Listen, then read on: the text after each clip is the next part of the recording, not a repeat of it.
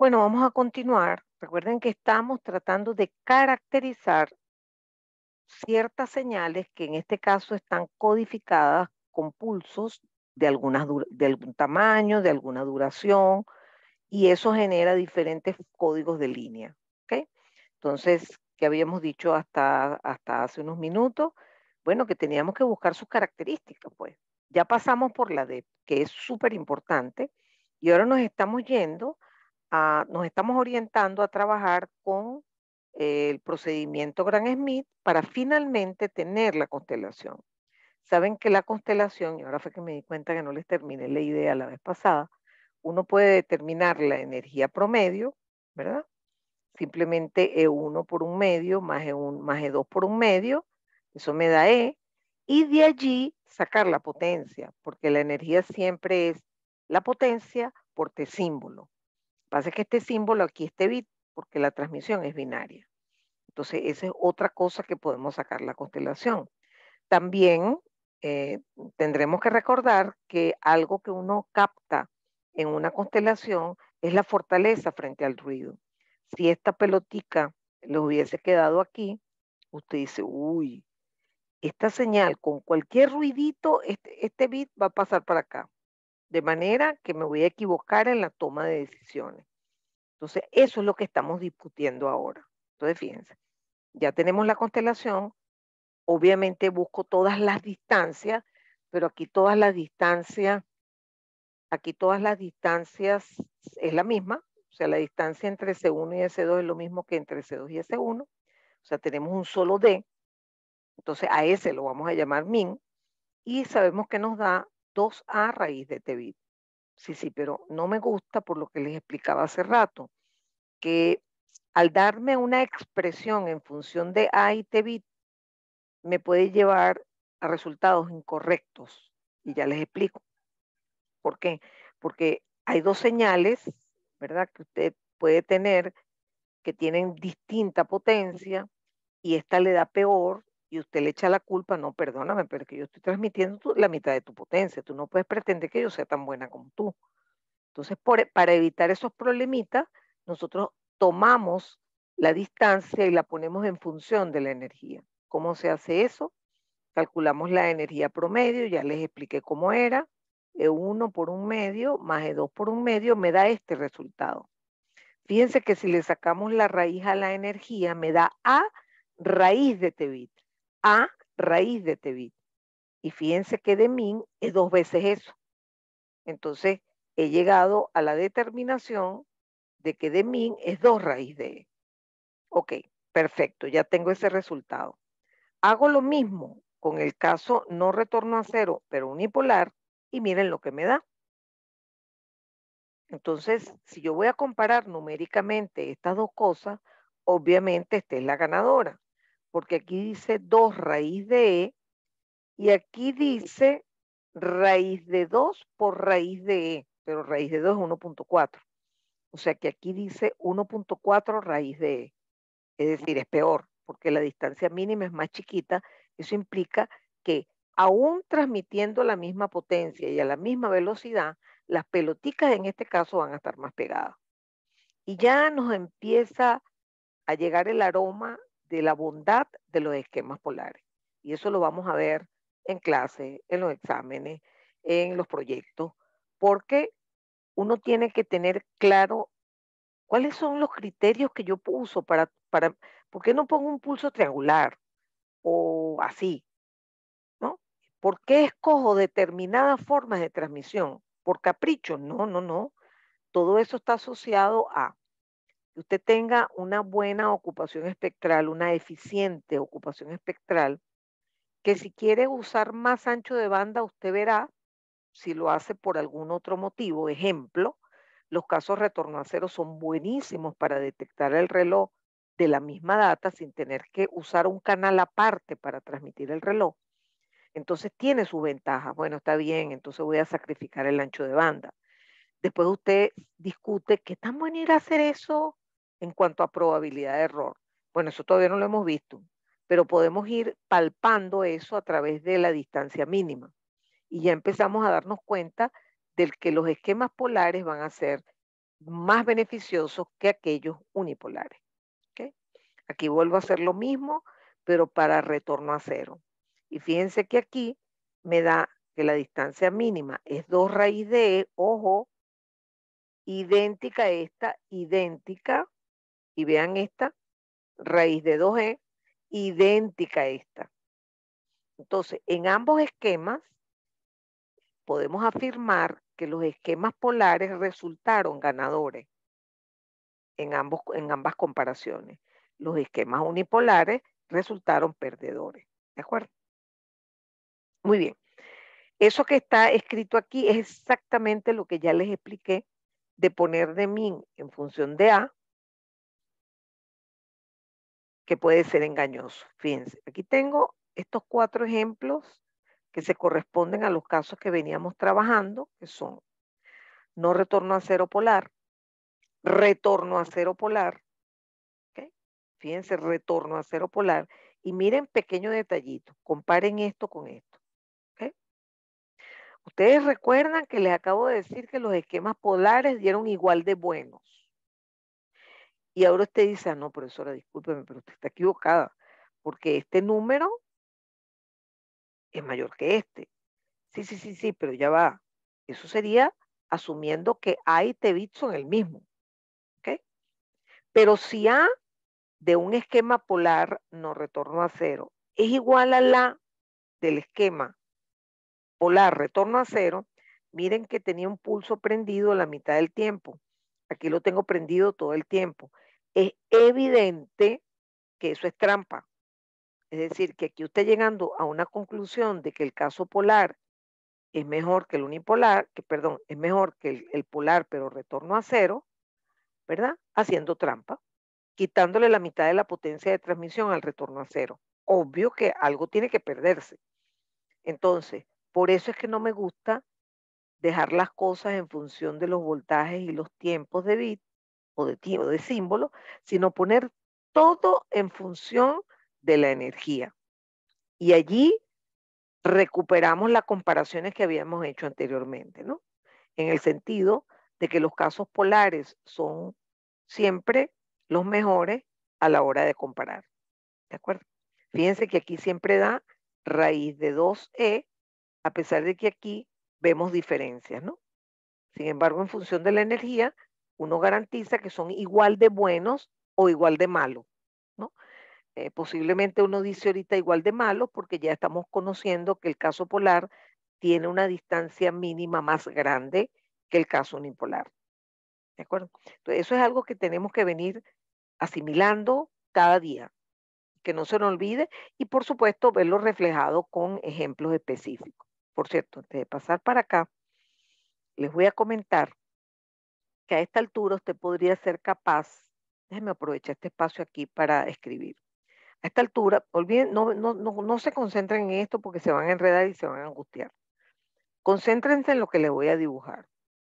Supongan que yo grafico esto que está aquí. Miren, una pelotica aquí, una pelotica aquí, una pelotica aquí, y una pelotica aquí.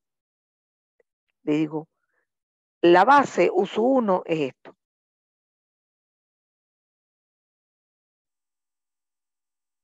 Es un pulso que dura todo T símbolo. Fíjense que ya no puse T bit, ¿no? Puse T símbolo. Es más, ya yo sé qué altura tiene esa base, porque yo sé que la energía tiene que ser unitaria. Entonces yo puedo escribir, por flojera voy a escribirlo así, este símbolo. La altura es F símbolo porque si elevo esto al cuadrado, lo multiplico por T sub S, me da 1. Ok, yo le doy esto y le doy esto con valores, ¿no? Por ejemplo, 1, 3, menos 1, menos 3. Y entonces le digo, grafique esa señal. ¿Qué es lo que usted sabe hasta la clase de hoy? Usted sabe que cada uno de estos símbolos están representándose con una base. Por ejemplo, este símbolo es tres veces esta base. Este símbolo es una vez esta base. Este símbolo es como igual que este, pero negativo. Y este es igual que este, pero negativo. Es decir, que su señal en tiempo, voy a pintar nada más cuatro símbolos, ¿no? Eso es mentira que van a venir en ese orden. Va a ser aleatorio, pero para pintar nada más que cuatro símbolos. Entonces tengo uno, 3, menos 3, menos 1. Eso que está allí es una señal banda base cuaternaria. ¿okay? Y eso es algo que ustedes van a poder rápidamente descubrir que tiene una DEP que es igualita, igualita, igualita al caso no retorno a cero polar, pero el corte ahora no es en F bit, el corte es en F símbolo, porque este tiempo, este símbolo.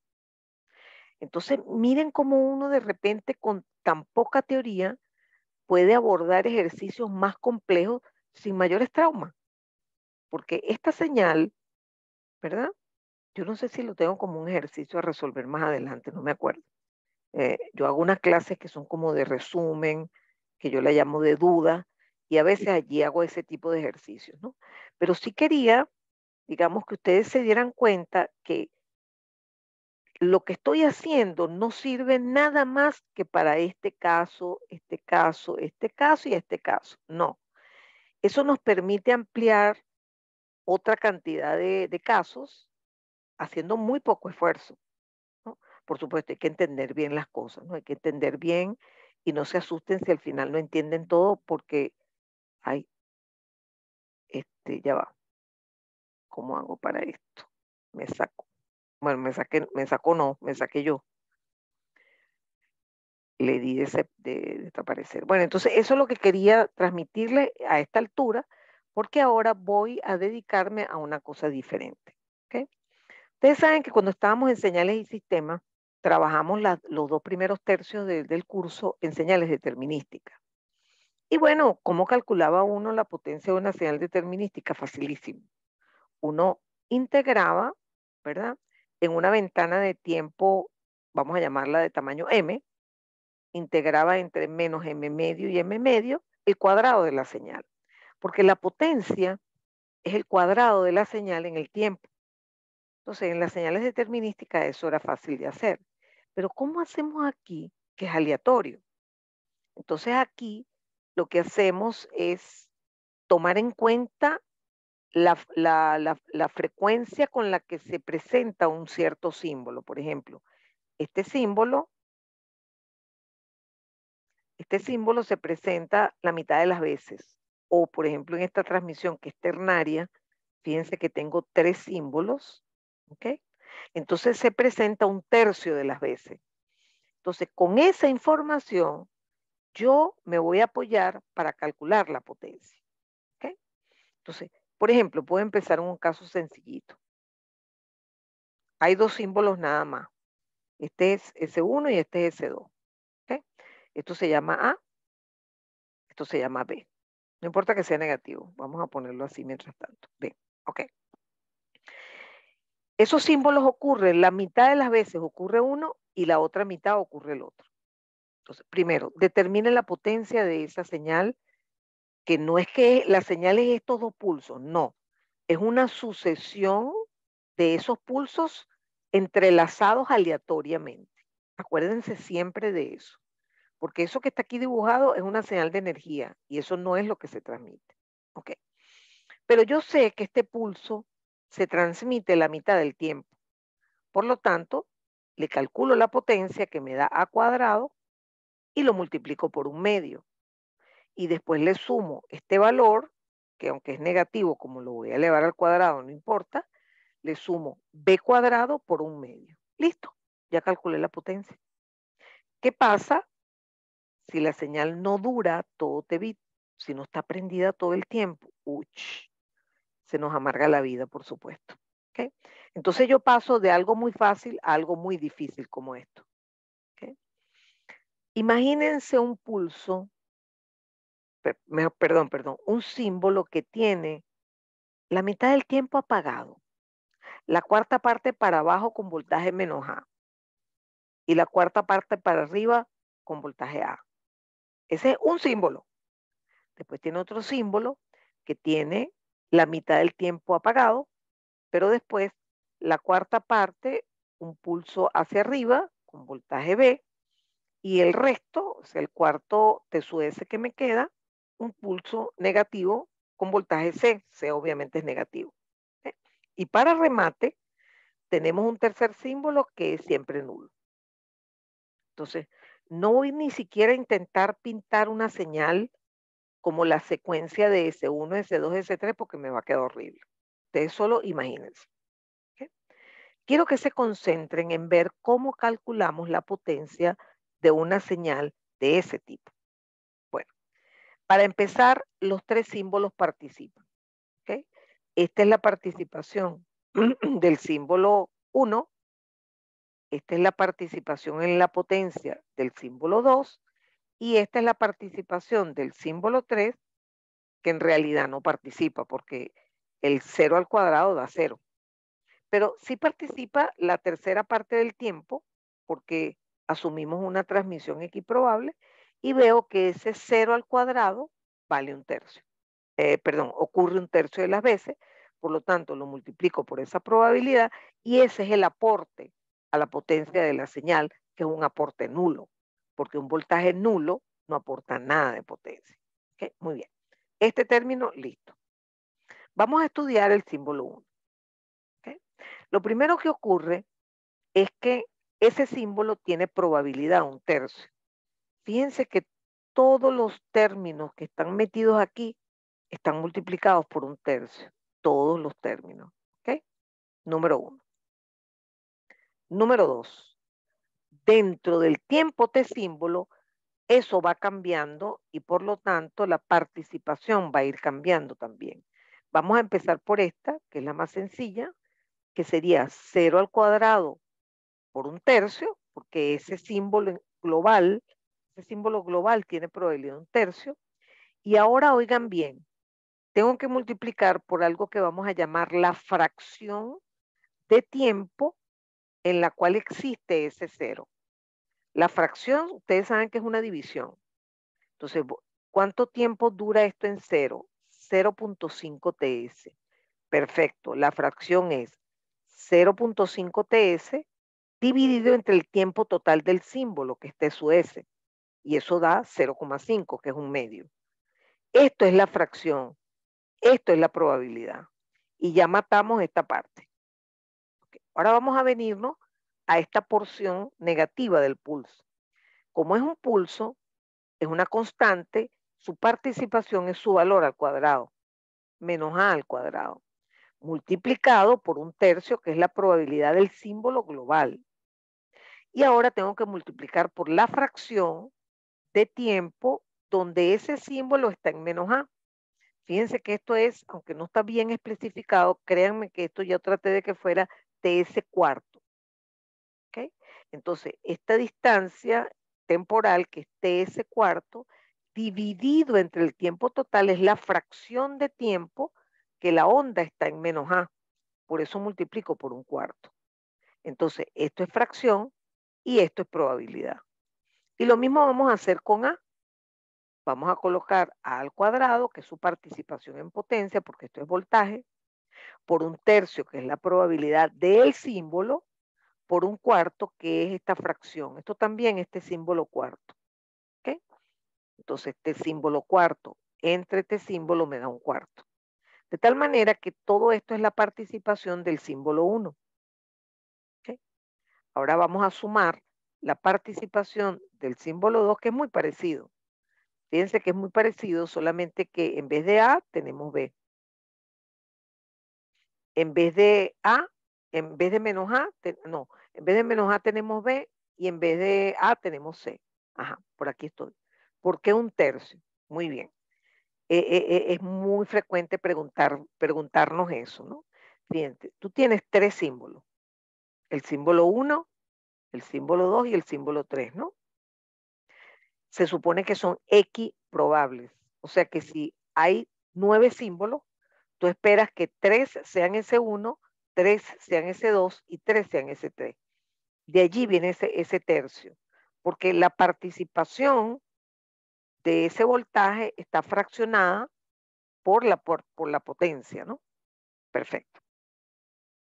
Muy bien. Entonces, fíjense que aquí es facilito. Ya una vez, una vez que hicimos el primero, ya lo demás es fácil. Fíjense que aquí es b cuadrado por un tercio, que es la probabilidad, por un cuarto, que es la fracción. Fíjense que esto dura TS cuartos, TS cuarto entre TS total, me das cuarto, 0,25, y lo mismo con el C. Observen que aquí nadie se resta, nadie. Yo, yo creo que yo, yo no soy segura que aquí yo tenga láminas con nivel de C, así que se las voy a hacer aquí mismo. ¿ok? Ustedes saben que la potencia es el promedio de la señal al cuadrado. Siempre es positivo. Pero yo quiero que me calculen el nivel de C. El nivel de C es el promedio de la señal sin cuadrado, sin elevar al cuadrado. O sea que voy a seguir la misma chuleta que me dieron en la potencia, pero con voltaje. Entonces, empiezo estudiando el símbolo 1. Entonces, 0 no al cuadrado, 0 porque es voltaje, por un tercio, que es la probabilidad, por la fracción, que es TS medios, entre TS, que es un medio. Esto es la participación de esta parte de la forma de onda en el nivel de C. Terminamos. Ahora, pongan atención. Me vengo con el símbolo Acuérdense que estoy trabajando en el símbolo 1, me vengo para esta parte que me da menos A. Y así lo pongo, porque no es elevado al cuadrado. Menos A por la fracción de tiempo, que ya sabemos que es un cuarto. Ahora voy a poner primero la fracción y después voy a poner la probabilidad, que es un tercio. Y finalmente A por lo mismo, por un cuarto, por un tercio. Esto, repito, es la participación en el nivel de C de la señal. Pongan atención, cuando usted suma todo esto da cero. Ah, claro, profesora, cualquiera se da cuenta porque esta área cancela esta. Recuerden que el nivel de C es el promedio de la señal. Entonces usted va calculando áreas y después divide entre el tiempo total, ¿no? si tuviésemos una señal determinística. Entonces es obvio que el símbolo 1 no participa en la constitución del nivel de C. Sin embargo, el símbolo 2 sí, porque, ah, digamos, viéndolos, eh, simplemente uno estima que, por ejemplo, B es 4 y C es menos 2, es decir, que B en valor absoluto es mayor que C, que el valor absoluto de C. Entonces me quedaría que la participación es 0 por un cuarto, por un tercio, por, perdón, por un medio, que es la fracción de tiempo que está este 0, por un medio, por un tercio, que es la probabilidad del símbolo 2, más, y ahora abro porque puede haber signos negativos, ¿no? Más B por un cuarto, por un tercio, más C, que todo el mundo sabe que C es negativo, por un cuarto, por un tercio. Ok, ahora bien, es evidente que si creemos en que mi gráfica está bien hecha, ¿no? Que esto no se van a cancelar estas áreas, no. De hecho, el área positiva es mayor. O sea que esto que está aquí, que es la colaboración del símbolo 2 en el nivel de C, es un número positivo. Y eso es, eso es lógico, porque si uno tiene, si tuviéramos solamente esta forma de onda repitiéndose permanentemente, uno sabe que la señal va a estar más tiempo en el lado positivo que en el lado negativo o en cero. Entonces, claramente, el nivel de C de esa señal, que es la suma de la participación de los tres símbolos, el nivel de C vale cero. Muy bien. Vamos a pasar ahora, aunque no hemos visto modulación, vamos a empezar es mañana, pero no importa, nosotros hemos trabajado tanto con sinusoides que somos capaces de entender ustedes van a ser capaces de entender lo que les quiero explicar. Imagínense que estamos en señales y sistemas y tengo una sinusoide de amplitud A que dura toda la vida, una amplitud pico A que dura toda la vida. A que no saben cuánto vale la potencia, a cuadrado medio. Recuerden que esto es una potencia promedio normalizada, porque estamos usando impedancias unitarias. A cuadrado medio. Ok. Ahora supónganse lo siguiente, y mañana lo van a ver con una de las señales que vamos a ver, que es una modulación en amplitud que se llama OCA, porque es prendido y apagado. Sinusoide prendida, sinusoide apagada. Ok. Supónganse que la sinusoide está apagada la mitad del tiempo. Ah, bueno, muy fácil. Entonces la potencia es la mitad de esto. Y si ahora está prendida menos tiempo o más tiempo, eso va a cambiar. Muy bien, hasta ahí estamos bien. Ahora bien, ¿qué pasa, por ejemplo, si tengo una transmisión binaria que tiene estas dos formas de onda? Vamos a aplicar algo muy, muy, muy similar a esto que está aquí, porque el aporte de cada uno de esos símbolos va a depender de la participación temporal, pero ya les dije que son equiprobables. O sea que la probabilidad de este símbolo es un medio y la probabilidad de este símbolo es un medio. Y ahora, internamente, por ejemplo, este símbolo, esta va a ser la participación en la potencia. Observen una diferencia fundamental en este caso, y es que en vez de poner a al cuadrado, no, no, no, no, no, hay que poner a cuadrado medio, partiendo del hecho de que si la sinusoide estuviera prendida todo el tiempo, pues esa sería la potencia. Pero entonces vemos que la, sinusoide está prendida solo la mitad del tiempo de bit. Entonces, fíjense que aquí dos veces se repite un medio. Un medio porque la probabilidad es un medio. Y un medio porque la fracción es un medio. Fíjense que este tiempo es T bit medios. T bit medios entre T bit, que es el tiempo total, da un medio. Entonces ya tenemos completa la participación en la potencia promedio de este símbolo. Y el símbolo 2, bueno, igual, solamente que probablemente, ¿verdad? Aquí aparentemente son de la misma frecuencia, entonces van a tener B cuadrado medio otra vez, pareciera que A es mayor que B, o sea que la potencia fraccional de esto va a ser más chiquita, pero importante, volvemos a multiplicar por un medio, que es la probabilidad, por un medio, que es la fracción. Y el cero también lo pongo nada más para que se den cuenta de que todo el mundo participa, aunque la pasa como en la vida, ¿no? que la participación de algunos es nula. O sea, este, en este caso, todo es positivo. Aquí no hay participaciones negativas, que sí las hay en el nivel de C. Y ahora viene la gran pregunta. Así como yo les hice el ejercicio aquí del nivel de C, ¿qué hago aquí? Uy, no, no está fácil. No está fácil. En este caso sí, pero en general no está fácil. ¿Por qué? Porque el nivel de C ya les expliqué que es el promedio de, en la señal en tiempo. Y en el fondo aquí les dije que yo voy calculando áreas, voy sumando y en algunos casos se me cancela. Aquí les voy a decir por primera vez algo que es clave y que mañana voy a reforzar, que es que las portadoras, en primer lugar, eso ya lo dije, es absurdo que tengan tan pocos ciclos en, un tiempo de símbolo o en un tiempo de bit. Eso es absurdo. Eso lo hago porque eh, para que las vean y para yo poder explicarles las cosas. Pero lo que sí es cierto que además de ser frecuencia muy alta, por ejemplo, aquí que quepan 100 ciclos, aparte de eso, se les va a pedir que en el tiempo total, que sería T bit, o en este caso en el tiempo parcial, que es T bit medio, quepa, quepa un número entero de ciclos. Fíjense que en T-bit medios caben dos ciclos. O sea que en T-bit caben cuatro ciclos. O sea que la frecuencia de portador es 4 F-bit. Porque lo pueden pensar también en los tiempos, en el periodo de esta sinusoide. Aquí caben cuatro periodos de la sinusoide, por lo tanto la frecuencia es el cuádruple. ¿okay? Entonces, para calcular el nivel de C, yo primero tengo que cerciorarme que si hay o no un número entero de ciclos. Porque si, el, si termináramos aquí, ¿verdad? Nos damos cuenta que las áreas positivas no cancelan las negativas.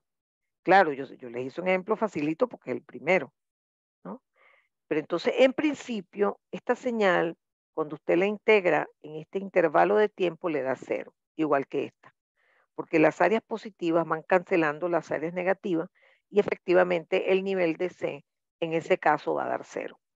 ¿Ok? Y eso es algo que vamos a repetir siempre. De hecho, en, el simulador lo van a ver, que se hace una selección muy clara para que eso pase. Y en la tesis que están haciendo mis tesistas, que están quedando fenomenal, ahí eso es una cosa que tenemos que advertirle al usuario, que no puede escoger frecuencia de portadora en donde no se cumpla, que son múltiplo entero de F bit o de F símbolo si es meario. Eso lo vamos a, abundar más adelante. Voy a terminar la clase rapidito con este ejercicio que es un poquito más raro.